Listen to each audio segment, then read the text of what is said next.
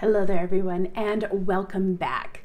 Um, if you're brand new here, I want to give you a nice warm welcome. My name is Danielle Rochford, and I am an online teacher in Alberta, Canada. I teach grade 7 and 8 students.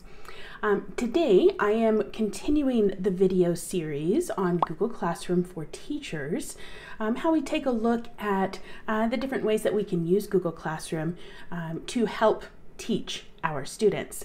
Today, we're going to be taking a look at how we can add students and co-teachers to our Google Classroom.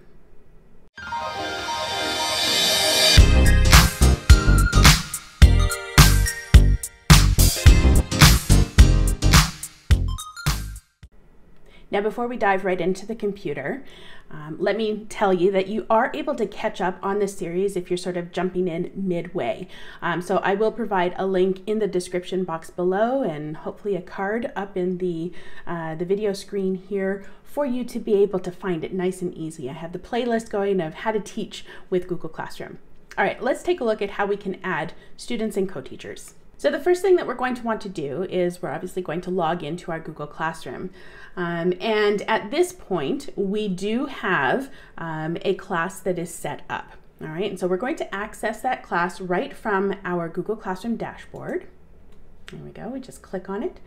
Um, in order to add people, we're going to start with some students here. Uh, we need to go to the People tab. Now you'll notice that um, on the People tab, it is divided up into two separate sections. There is a section here that shows the teachers of the class, um, and there's also a section here that identifies the students that are in the class.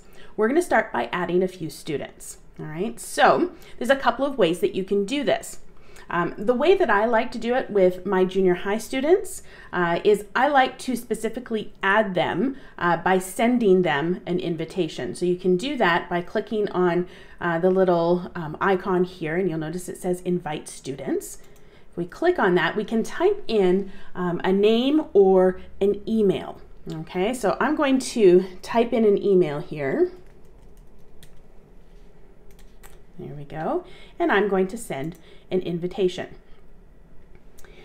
And so once the invitation has been sent, the student that you have invited will show up on your list of students here with an invited um, text beside it so you know that this person has been invited.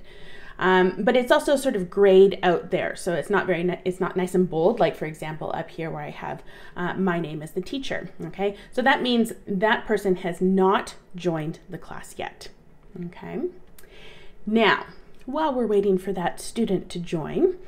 Um, what I'm going to do is I'm actually going to demonstrate the student view of this. Okay, um, so this invitation has been sent to um, a, uh, a, a, student here, and I'm going to uh, bring up the student view um, and go to um, email notifications. So we log into Gmail. You'll notice that um, this student has received an email from Rochford On Demand letting them know that they have been invited to a class. And it outlines um, what class the student was invited to and the option for joining. Okay, and so right from their email, um, they can click on join.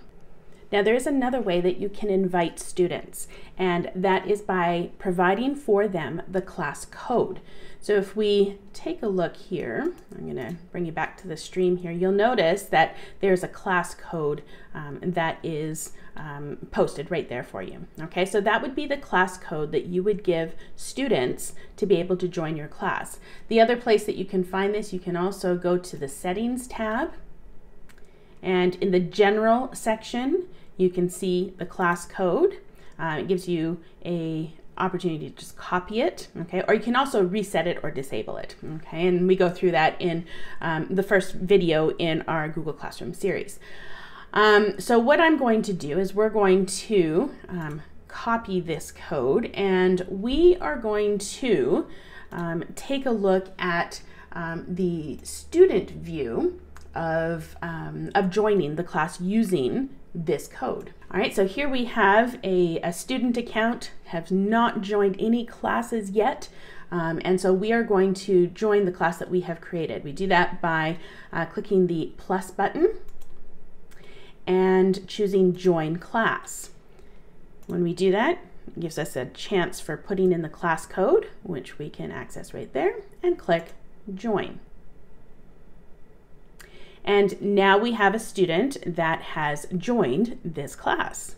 So now when we go back to our uh, teacher view of things, we can go to people and we'll notice here that we now have an active student that has joined the class. Notice the difference between um, the, uh, the darker print for this student versus the lighter print here for this one that's still invited but has not joined the class yet. Now, in a similar way, we are also able to add co-teachers. Right, so if we go to our, once again on our people tab here, um, this time under the teacher section, um, we click over the icon there with the plus sign. Um, it says invite teachers. All right. Um, and, and so here you can put in a name or an email and information from your contacts will pop up. Okay, um, and you can invite them the same way that we demonstrated with uh, the first student. Okay, now when you add a teacher, teachers are able to do all the same things that you can um, on your Google Classroom. Okay, the only exception to that is that they cannot delete the class. Okay, but everything else they can make posts, they can uh, communicate back and forth with students, um, they can grade the same way that you would, be able to give feedback, all of those different kinds of things. Um, they have full access to your Google Classroom, they just can't delete the class. As the owner, you are the only one that's able to delete the class. Well, now that we have some students in our class, the next video, we're going to take a look at providing some assignments for them. So we're going to take a look at the different types of assignments um, and how we can post them and how students can access them. All right, so I hope to see you in the next video. Um, please make sure to subscribe and hit that bell for notifications so that you will be notified the next time a video goes live. Have a great day, everyone.